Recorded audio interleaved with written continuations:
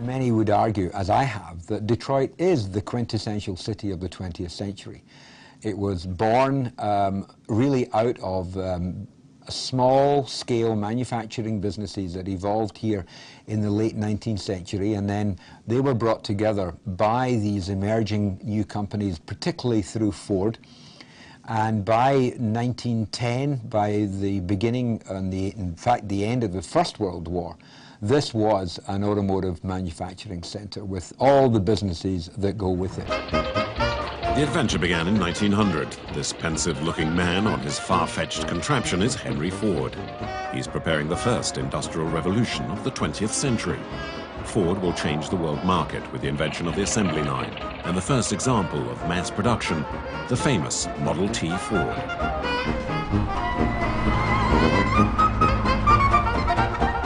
Rouge industrial site, a vestige of the short-lived French colonization, was the biggest in the country. It could hold up to 90,000 workers. Between 1910 and 1930, Detroit grew to become the fourth largest town in the country before the crisis of 29. Detroit has been in a state of decline in, in, some fashion or another going back to the 1930s, if you will. I mean, we never fully recovered from the Depression. You can go, there are vacant buildings, vacant warehouses in this city that have been empty since the, the, the Depression. The stock exchange crash also resulted in the reduction of the number of car manufacturers. From 18 manufacturers, and after bankruptcies, mergers and acquisitions, only three were left. General Motors, Ford and Chrysler, who became known as the Three Giants. It was a golden era of full employment for a triumphant America.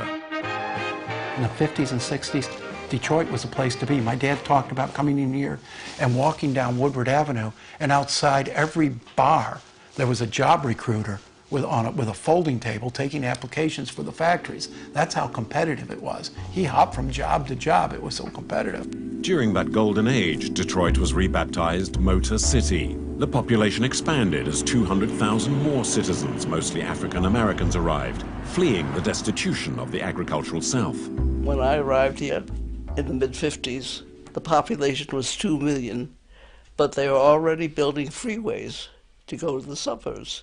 That created depopulation, disinvestment, and all that sort of thing. They helped to destroy the city.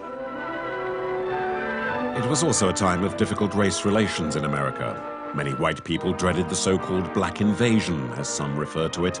Subsequently, the whites began to move further out, taking with them their tax contributions and their businesses. The town soon spread over 300 square kilometers. Detroit became, in the mid 50s, a city where the population was overwhelmingly becoming overwhelmingly black. And the city was at that time still run by whites the city government, the schools. And that led to a, uh, a black power movement. And what that, the idea I think that blacks had at the time was that if we would have blacks in charge in accordance with uh, democratic procedures, that things would get better. But social divisions added to economic problems complicated matters. To reduce the costs of production and stop depending on the powerful automobile unions, the big three changed their strategy. The automobile companies were grounded here, but as they grew and they became multinational companies, with in, in increasing interests not only in manufacturing overseas, but eventually, as today, selling overseas. Um, the, although we are still the headquartered, uh, we, we, are still the home of the headquarters, a lot of the activities moved offshore. The change, though, brought with it the beginning of decline. Detroit lost 200,000 inhabitants between 1950 and 1960.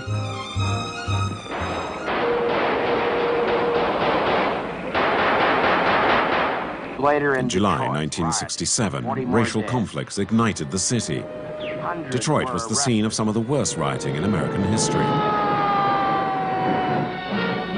Between the destruction and random gunfire, the National Guard was called in as reinforcement. In five days of rioting, 43 people were killed, and in more than 300 cases of arson, dozens of businesses were looted or destroyed.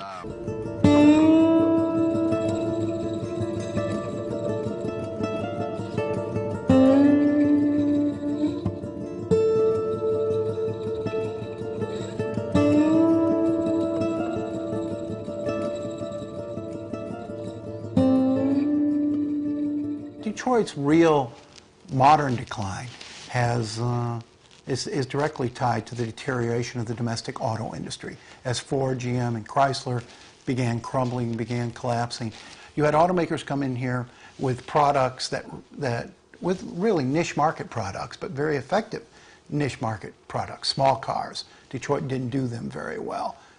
Those Japanese car makers did them very well. Luxury cars. Detroit sort of lost its luxury edge. The German car makers really excelled at luxuries. And the per vehicle cost for the big three was so much higher than that of their competitors that they couldn't price as well as perhaps they should have.